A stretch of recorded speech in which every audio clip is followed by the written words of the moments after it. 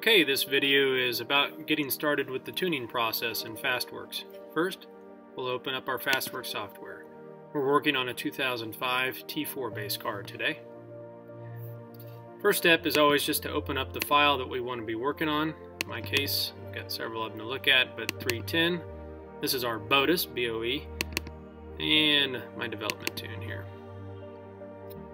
As we go through here, you can always see the file name that you're working on up here. Uh, this is the calibration ID, Fastworks 2005 version 01. Uh, the main thing that people will probably want to modify uh, based on their current setup is oftentimes around fuel delivery. If you expand the fuel, there's the fuel target AFR. This is generally set pretty well from uh, your base cal. You've got your engine load numbers over here and your engine RPM. Notice that this doesn't go all the way to redline nor does it go to the uh, complete engine load number that is achievable, which is 255. The reason for that is, is because it just simply carries on the last number that is referenced, and typically once you're at 216, that's full boost in most boosted cars. These AFR numbers are fine. If you don't like them, you can change them. And again, this is the target AFR that is that the ECU is trying to achieve. This 14.6 must be set for closed loop operation there's a number other than 14.6 here, it will not run closed loop in these cells. Please note that check engine lights regarding lean or rich check engine uh, codes are only ever triggered in these closed loop operating cells. That's between, in this particular map, 1500 and call it 5500 RPMs in this very low load range of 88 and all the way up to some of these higher load ranges of 112, but nevertheless, it's never down in these high boosted areas high horsepower ranges. As you close this, you can look at your volumetric efficiency. This is where the fuel maps are actually set. Supercharged cars will, or turbocharged cars will usually have load ranges down in these 216 to 255 ranges at wide open throttle, usually by about 3,000 RPMs or so. Normally aspirated cars will be in this 125 to 176 or 162 range. So if you're trying to tune wide open throttle uh, AFRs, then at least for supercharged cars, you'll be down in this range that you see circled here. These numbers, simply think of them as a relative point. A larger number is more fuel, a smaller number is less fuel. There's on the T4, there's only one fuel map to look at. So again, if you want to make changes here, you can either highlight one cell and change it with this plus 5, plus 1, minus 1, or minus 5, or you can right click on it, as I just did here. You can adjust the value, by small or increase, uh, small or large uh, increase or decrease, or you can just type in a number by a percentage. An offset simply means do I want it to increase by 2, you could do that, or you could actually set the value. Um, so if you wanted it to 130, you could write in 130 right here and hit apply. If you want to change several areas, you can highlight a large area, and again, right click, you could either change them all by 5 like I just did, or 1, like I hit, did here. Or you can again right click and do the same percentage thing. If you make a change in one area, you want to smooth out that change, you'd highlight a change to then interpolate. You can interpolate horizontally or vertically, and that simply takes the difference between say 137 and 150 and gives you a nice smooth transition. So if I interpolate vertically, it'll change this 137 to 150 and it'll do that for all these cells, 141 to 146 and has an even distribution between those two cells. The other common place that people want to look at is mass airflow. This is the actual mass airflow scalars. This particular map is set for a stock 2.55 inch uh, mass airflow ID. If you change it to 3 inch, this is where you would change that particular offset.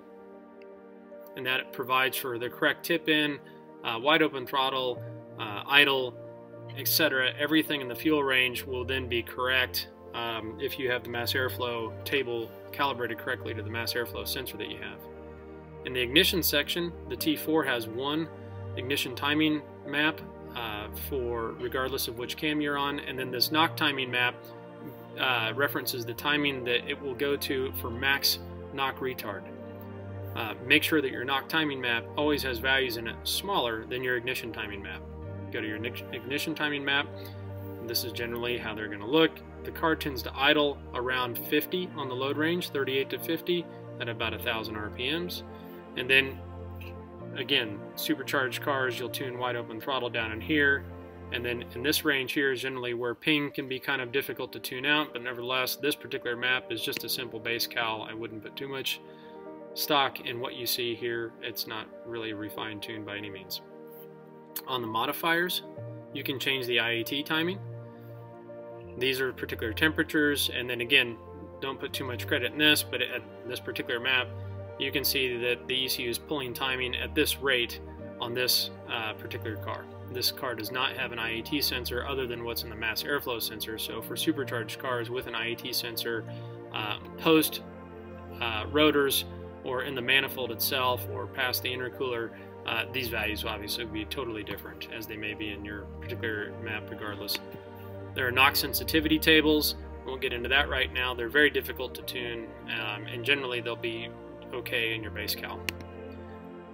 VVT settings, you can see when the, this particular map turns the VVT on at 5,000 RPMs. On the way up, it disables the VVT or goes onto the small cam at 4,800 RPMs. These are the temperature for VVT. Um, there are then two timing maps for VVT. Small numbers are less advanced, large numbers are more advanced. Generally, it's going to idle somewhere down here uh, in low numbers, and then at wide open throttle might be at high numbers again, don't pay any attention to these particular numbers. They're just random numbers that are set there. Trouble codes. The 013X are for your catalyst. Um, bottom line is these trouble codes for your pre-cat. Generally, you want those checked. If you're not running a catalyst, then you'll uncheck these 137s and so on. Uh, when you come down to trouble codes uh, down here as well, you'll turn off your post-cat heaters, which are right here, and you can leave the rest checked. This limp home mode RPM reduction is handy uh, because this is, if there's a problem on a race car, you may set this to zero, simply meaning that if the car goes into limp home mode, it won't reduce the RPM limit. Generally, this is set from the factory at 2,000 RPMs. Uh, in case there's a significant problem with the car, it'll at least get you to the dealership, so to speak. Uh, for most maps, this is left at 2000, but again, race cars, you may want to make this zero so that you can finish the race and diagnose the problem later. As far as RPM limits, is down here in the limit section, you can go to rev limit by temperature. It's important to expand this map. Anytime you see this plus, plus sign up here, it means that the map has room to expand. You can expand this map, and it's important that on this temperature range, everything in the 70 degree range, which is a, uh, when the ECU has it programmed to be at uh, full operating temperature, that all these values are the same. If one of these values uh, is at a different number than the other, it will default to the lowest number. So if you want it to be at 8500, it, all these values need to be 8500.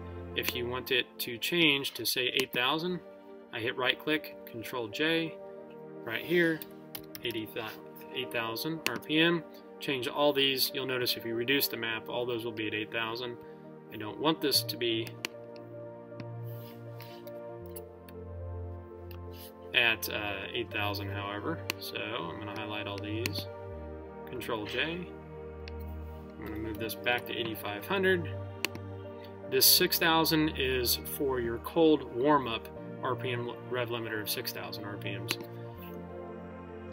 You can even go down here to features and you can look at your um, rev limiter uh, when it shows your shift light. These are the shift light rev limiters so that basically what it's simply saying is that while the rev limiter might be at 8500, it will shine the shift light at 1100 RPMs before the rev limit in first, 850 in second, 550 in third, and so this is kind of nice where you can tune your actual shift light. Pretty cool feature. Once you've made all the changes that you want to do, simply go up to File and Save As. You'll save as to whatever file name you want it to be. So uh, if, if you don't mind writing over your old map, then just hit File Save. But if you want to save it as something new because it's something you want to try and upload, that's perfectly fine. Nevertheless, I'm not going to make any changes to this particular map for this particular illustration. But after you save them, whatever map is showing up here is the map that's going to get uploaded into the ECU.